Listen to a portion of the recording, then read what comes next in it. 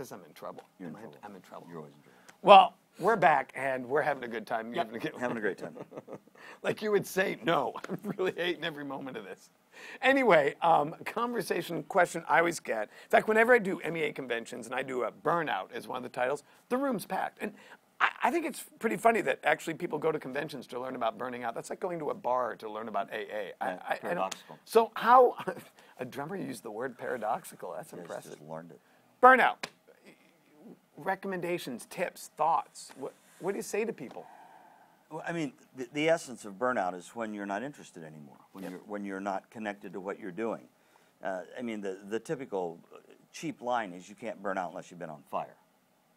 So, I mean, first of all, you got to be on fire. Even Julie made a out. face at that. That's a I good know, quote. That's a good quote. Um, so I think you have to stand back and go, is my contribution connecting? Is it making a difference? Do I, do I feel a sense of satisfaction? Is there benefit for me in this as well as everybody else? And I, we probably all burn out. We probably quit our jobs two or three times a day where we go, I don't do this anymore. Instead of standing back and going, what am I doing? And most importantly, why am I doing Have you I'm read doing? the book um, Emotional Equations? Yep. It's, yeah, one of his equations is suffering equals despair without meaning. Yep. You know, and the thing I, I, I always try and focus on is the suffering's going to be there. You're a band director. It's not going to change.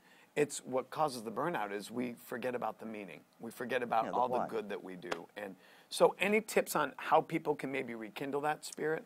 Uh, I think for all of us every day, if if you look at why we why we do what we do, and then we start going. uh, First is why, and then we go. This is how we're going to do it, and then this is what we're going to do. But if you start with what, and you forget why, this is just a, a, a like a bunch of pieces of puzzle, a jigsaw puzzle on the table, but you don't have the picture on the box. Well, and I, I think music teachers especially are always so focused on the next concert, the next Yep. performance that Yep. we we don't put the we don't put the why in front of our faces very often. So maybe maybe it's just a little more why and a little less what in our future. And just remember, you're changing people's lives for the better. That's a pretty good why. yeah, we're living proof of that, right? Yep. Amen.